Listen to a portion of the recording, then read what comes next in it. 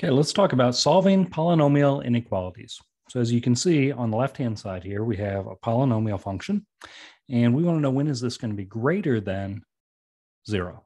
So this greater than, I'm initially just going to kind of ignore this. If this was an equal sign, I want to know, first of all, what values of x when we plug them in, because it's in factored form on the left-hand side, when I replace these x's with what number would it make this factor equal zero?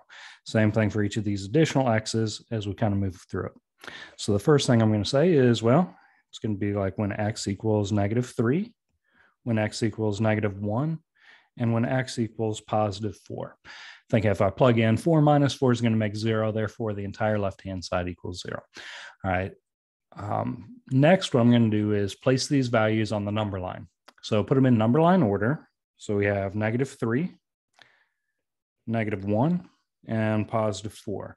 Now it's not to scale, but they are in the correct order on the number line, and that's important.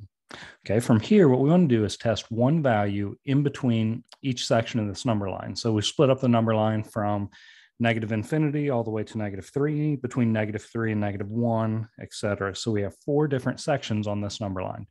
So quickly, we're going to move through and we're going to pick one value in each section. So anything to the left of negative three, such as like negative four. And think about if we plug it in up into our polynomial function, all we're going to care about is does it turn out positive or negative for each factor. So as we plug it in, we have negative four plus three makes negative one. All I'm going to do is say that's going to be a negative though. Negative four plus three makes negative one.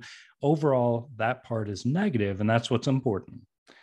For the next factor, we have negative 4 plus 1 is negative 3, but it's really just negative. So I'm keeping track of the negatives. That part's still squared. And then negative 4 minus 4 more makes negative 8. But really, remember, we only care about negatives. Okay, from here, let's count up how many negatives are being multiplied together over on the left-hand side there. You can see that we have 1, 2, because it's squared, that's going to be 3, and then a fourth one. So four negatives all multiply together to overall make it positive. So we're going to put a big positive up above our number line in that section. Next, we're going to repeat it between negative three and negative one. Let's go with negative two. And one at a time, we'll go negative two gets plugged in for each of the x's. So negative two plus three makes positive one. For that middle factor, we say negative two plus one makes negative one. Then we're going to square it. So that counts as two negatives. And then negative two minus four makes negative six, overall negative. So as you count these up, we had a positive and then three copies of negatives multiplied together. So the positive doesn't really affect positive or negative, but we have three negatives. An odd number is going to make negative overall in that section of the number line. Next, anything between negative one and positive four, we just repeat the process. I like plugging in zero um, because that makes life fairly easy as far as doing computations. So in for each of the x's, we have 0 plus 3 makes positive. 0 plus 1 makes positive. It gets squared. And then 0 minus 4 is a negative. So in this case, we have three positives and one negative. Overall is going to be negative. One more on this number line, we have anything to the to the right of four. So five, six, seven, eight, any of these values, I'm going to pick 10 because any of these values will return the same result. So plugging in a 10 for each of our x's, we have 10 plus 3 makes positive 13. 10 plus 1 makes positive 11. And then we square it. And then 10 minus 4 makes positive 6.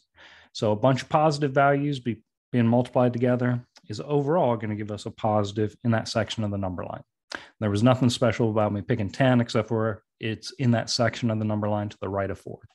So each one of these values um, that we put below the number line, the negative 3, negative 1, and 4, those are when our actual function is going to equal 0. It's going to be on the x-axis. We're going to have a point on our x-axis for that polynomial function that's been factored on the left-hand side. But then the overall graph is going to be above the x-axis where we put pluses, positives, and then below the x-axis where we put negatives. So now's the first time I've kind of referenced this inequality sign um, being that it has to be greater than zero. So values that are going to be greater than zero, that means that it's going to be positive. Greater than zero means positive. So for ours, what we're looking at is we're looking at the sections of the number line where it's positive over on the left-hand side. and positive way over on the right-hand side.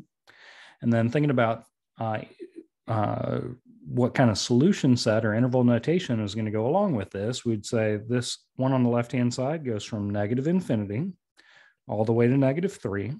Now, negative infinity is never going to be included.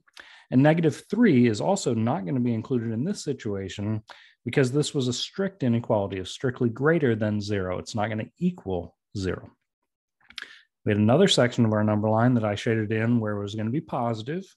Over on the right-hand side, that goes from 4 off to the right-hand side forever. So 4 to infinity. Infinity is always going to get the open bracket. And 4 is also going to get the open bracket in this case as well. Again, because that's a strict inequality, if that had been an or equal to, then we would include the endpoint. Now my solution set um, is correct in interval notation here. We may throw a union symbol in between for where we're looking for our positive values.